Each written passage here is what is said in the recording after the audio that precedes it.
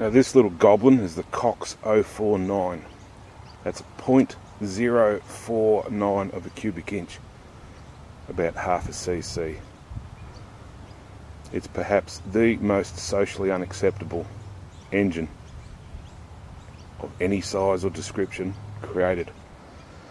Um, being a two-stroke, runs a two-stroke fuel, but it's an absolute witch's brew. 20% uh, castor oil for lubrication, 15% uh, nitromethane, and the balance being methanol. That's what it takes to get this thing running, and it's got the wail of the banshee, which uh, hopefully you'll hear very shortly.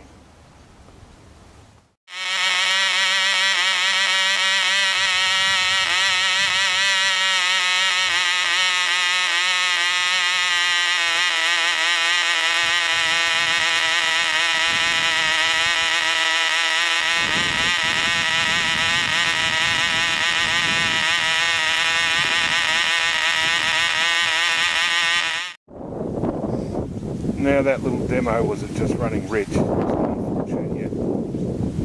being a relatively new motor, um, it needs two or three runs before you let it uh, give it its head. So you run them a bit rich for the first couple of runs and then I'll get back to you when it's uh, screaming its tits off.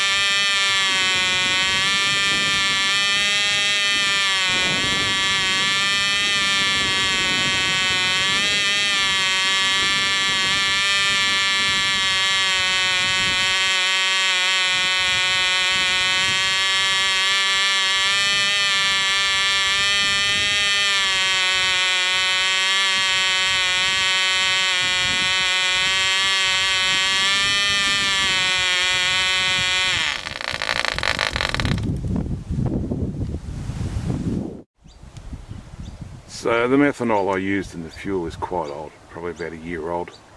Methanol being hygroscopic, it absorbs water from the atmosphere, so uh, I'll have to wait until I get some fresh methanol. It just won't hold a um, won't hold uh, a note.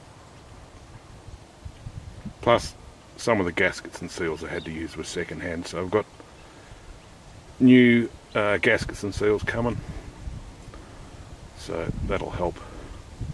It's a reed valve engine and the reed valve itself gets fatigued and again it's a second hand reed valve so I've got new reed valves coming but um, it's not bad for an amalgam of three or four different motors. I heat treated the piston um, to improve the fit. The heat treating is uh, take the piston, stick it in the oven at maximum temperature let it heat soak for about an hour then dip it into um, crushed ice. That actually uh, shocks the piston into being a little bit bigger grows the piston and you lap it in.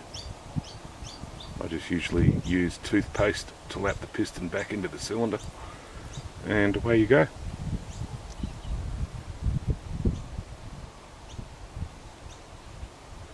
running quite well.